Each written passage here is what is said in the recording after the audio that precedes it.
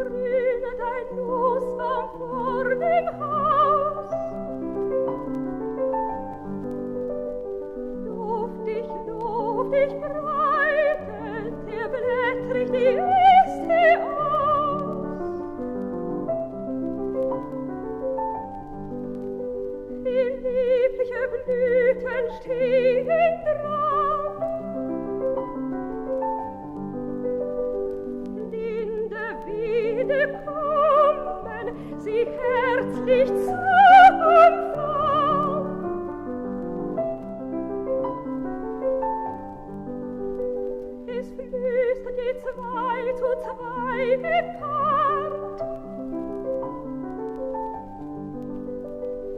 Neigend, beugend, zierlich, zum Kusse die Hütchen zart.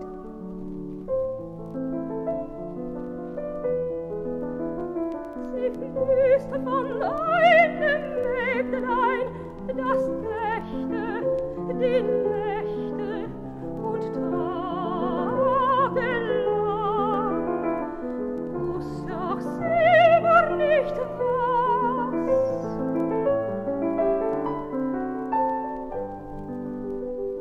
Thank you.